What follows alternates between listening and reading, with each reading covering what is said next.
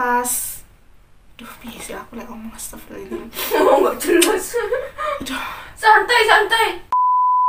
Assalamualaikum warahmatullahi wabarakatuh Welcome back to my youtube channel Don't forget to be yourself because there is beauty in simplicity Jadi di video kali ini aku mau nge-review salah satu skincare yang udah aku coba dari lama banget dan barusan aku review sekarang So buat kamu yang penasaran gimana hasil dari skincare ini di aku, just keep on watching. Jadi, brand skincare yang mau aku review kali ini yaitu dari Reset The Skin. Kalian pasti udah nggak asing banget karena akhir-akhir ini emang brand dari Reset The Skin ini mulai merebak di pasaran ya. Banyak juga beauty influencer atau beauty enthusiast gitu yang buat review soal skincare ini, gimana hasilnya di mereka. Dan beberapa waktu yang lalu, beberapa bulan yang lalu sih lebih tepatnya, aku tuh sempat dikirimin sama brandnya ini aku disuruh milih gitu di antara empat produk yang mereka tawarkan ke aku, aku disuruh milih. Nah, nanti produknya empat-empatnya itu apa aja, aku cantumin di layar ya. Nah, terus aku memutuskan untuk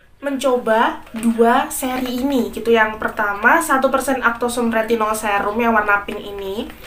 Terus yang kedua, 10% niacinamide, 2% alpha arbutin branding serum yang warna hijau ini untuk aku coba. Jadi produk ini sampai di rumah aku itu pada bulan Maret tahun ini itu langsung aku cobain. Tapi itu bener-bener kayak jarang banget gitu loh.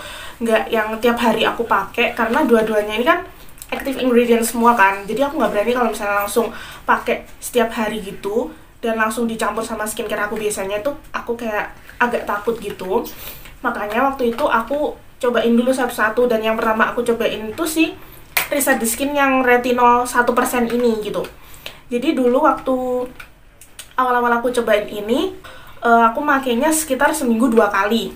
Seminggu dua kali plus skincare yang biasa aku pakai gitu. Jadi aku combine. Aku pakainya tiap malam. Jadi kalau misalnya kita pakai skincare gitu kan kadang-kadang kayak ada yang ngelupas gitu kan. Karena misalnya kering gitu karena cuaca atau apa. Nah kalau aku kasih retinol ini si yang ngelupas-ngelupasnya itu bisa jadi ngelupas lebih cepat gitu loh sesuai fungsi dari retinol ya mempercepat regenerasi. Bisa meminimalisir kulit kita yang kelihatan kering dan bersisik kayak gitu. Itu efek jangka pendek yang aku rasain selama waktu awal-awal pakai di 2 sampai 3 minggu pertama tuh kayak gitu. Karena aku merasa si retinol ini uh, udah cocok gitu ya udah bagus nggak menimbulkan efek-efek yang negatif kayak gitu. Aku uh, lanjut pakai si retinol ini tetap seminggu dua kali aja sampai satu bulan. Nah satu bulan kan udah empat minggu aku pakai si retinol ini dan aman. Aku langsung lanjut. Aku coba yang si Reset The Skin yang niacinamide 10% ini ya. Itu nggak aku campur gitu loh itu retinolnya udah nggak aku pakai dulu gitu sementara waktu. Nah ternyata si Reset The Skin yang 10% niacinamide ini menurut aku agak sedikit drying ya di kulit kalian yang pada dasarnya tuh combination skin tapi nggak yang terlalu berminyak banget. Bahkan sometimes itu kulit kita tuh cenderung gak kering gitu loh. Nah kulit aku kan kayak gitu kan.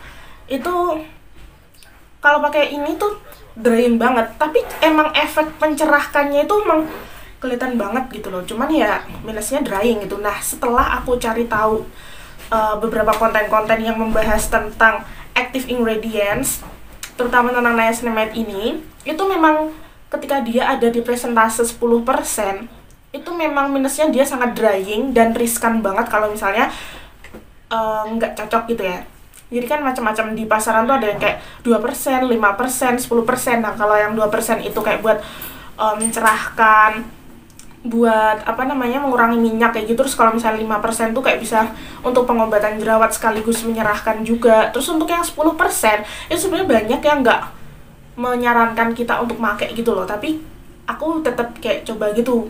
Nah tapi karena menurut aku dia sangat-sangat membuat kering ya walaupun uh, mencerahkan itu tadi tapi karena side effectnya kayak gitu jadi aku uh, make ini tuh bener-bener jarang banget jadi karena bagus gitu ya tetap aku pakai di muka dan itu agak jarang. Nah yang tetap aku pakai lumayan sering tuh ini gitu. Seminggu satu kali sampai dua kali gitu karena uh, aku juga nggak berani terlalu sering-sering tiap hari pakai gitu sih.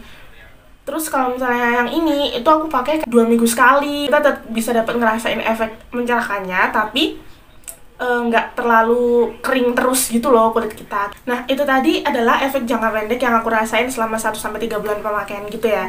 Terus mulai bulan ke-4 sampai sekarang, itu efek jangka pendek yang aku rasain itu adalah kulit jadi lebih halus. Dan even pun kita pakai skincare yang sekiranya itu uh, bikin kulit agak kering atau ada kecenderungan untuk bikin kulit mengelupas, itu tuh nggak terlalu mengelupas banget. Dan hasil skincare yang biasa aku pakai tuh jadi lebih maksimal banget gara-gara aku pakai niacinamide 10% ini jadi bikin cerah banget gitu loh. Terus dengan si ini dia bisa ngurangin apa sih chicken skin gitu? Emang di muka ada chicken skin ya? Pokoknya kayak yang bersisik gitu dia bisa ngurangin.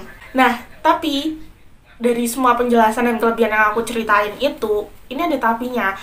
Produknya Risa The Skin yang seri kayak gini itu bukan basic skincare ya.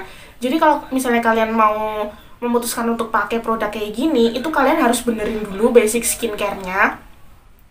Kayak moisturizer, facial wash, terus double cleansing jangan lupa dan sunscreen. Itu harus rutin dan kulit kalian tuh udah kesannya kayak aman gitu loh. Nggak kering-kering banget, berjerawat juga nggak berjerawat banget. Terus pokoknya di kondisi terbaik kulit kalian baru kalian naikin untuk coba active ingredient semacam kayak gini. Jangan kalau misalnya kalian basic skincare belum bener terus kulit lagi bermasalah banget langsung memutuskan untuk nyoba produk yang ada active ingredientsnya kayak gini di kulit kalian. Itu akan meningkatkan resiko terjadinya iritasi. Nah terus untuk cara pemakaiannya itu aku biasanya pakai yang si Octosome Retinol 1% ini itu di malam hari aja jangan sampai dipakai di pagi hari ya karena itu meningkatkan sensitivitas kulit kita terhadap sinar matahari gitu loh. Jadi setelah cuci muka aku pakai ini dan aku makainya cuman kayak sedikit gitu. Satu pump gini itu tuh keluarnya udah lumayan banyak nih aku kasih lihat ya. Nah udah. Pokoknya segini aja itu diratain dipakein jadi satu muka Nah, jadi aku gini-giniin gitu kan, terus aku taruh di muka. Nah, terus abis pakai retinol ini, aku lanjut langsung ke night cream. Udah, kayak gitu aja. Terus pas paginya, kalau misalnya pas hari di mana aku harus pakai si um, 10% niacinamide dan 2% alpha arbutin ini, itu aku pakainya pagi hari ya, urutannya sama facial wash, terus ini, terus moisturizer, terus habis itu sunscreen gitu tapi karena moisturizer aku itu udah ada sunscreennya gitu loh. Jadi kayak langsung jadi satu gitu aku nggak tambahin moisturizer lagi aku langsung pakai si day cream aku itu. Terus untuk teksturnya ya tadi kan aku udah kasih tunjuk yang warna pink itu kalau untuk ini tuh nah dia teksturnya cair ya. Cair terus bening. Kalau misalnya yang warna pink tadi yang retinol yang warna pink tadi yang retinol itu uh, dia butek kan. Kalau yang niacinamide ini cair pol cukup rani cukup rani pas aku tetesin di tangan tadi. Dan untuk daya serapnya kedua produknya itu tadi sama-sama cepet meresap ya. Finishnya itu nggak lengket sama sekali. Sekarang aku bacain yang lebih detail cara penggunaan yang ada di kardusnya. Yang pertama yang retinol ini Gunakan Reset The Skin 1% Actosome Retinol Serum 2 hingga 3 kali dalam seminggu, satu kali sehari. Sebaiknya digunakan pada malam hari setelah membersihkan wajah, terus kocok dulu sebelum dipakai, terus lalu teteskan serum ke telapak tangan secukupnya dan diaplikasi secara merata ke seluruh wajah dan ditepuk perlahan. Dan yang niacinamide ini dia cara penggunaannya adalah gunakan 10% niacinamide plus 2% alpha arbutin brightening serum setiap hari, pagi dan malam hari setelah membersihkan wajah untuk harganya berapa dan belinya di mana nanti aku bakalan taruh di description box ya. Pokoknya semua equipment terus outfit dan makeup segala macam kayak gitu-gitu. Kalau misalnya aku rasa itu perlu untuk di share aku bakalan taruh di description box ya. Jadi kalian bisa lihat-lihat di situ dan kalau misalnya kalian ngerasa cocok bisa langsung check out aja. So jadi kayak gitu aja review aku tentang Reset the Skin yaitu yang 1% Ectosome Retinol Serum dan juga 10% Niacinamide plus 2% Alpha Arbutin Brightening Serum. Semoga kalian suka sama reviewnya dan thank you banget buat yang udah nonton video ini dari awal sampai habis Terus kalau misalnya kalian ada pertanyaan, komentar, atau mau sharing pengalaman mungkin selama pakai dua produk ini, kalian bisa drop di kolom komentar ya. Nanti biar kita bisa sharing-sharing bareng juga. Dan kalau misalnya kalian suka, jangan lupa like video ini. I'll see you on my next video. Wassalamualaikum warahmatullahi wabarakatuh.